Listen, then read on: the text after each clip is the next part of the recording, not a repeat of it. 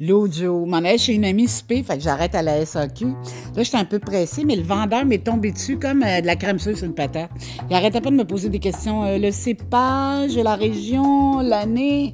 J'ai dit, gars, mon homme, j'étais un peu pressée, fait que amène-moi une bouteille avec un château ou un kangourou dessus. Ça va faire l'affaire.